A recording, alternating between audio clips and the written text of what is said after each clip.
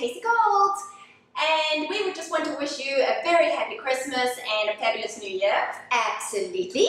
And you may or may not know, but we've been working together a lot this year. And we have had so much fun filming these videos.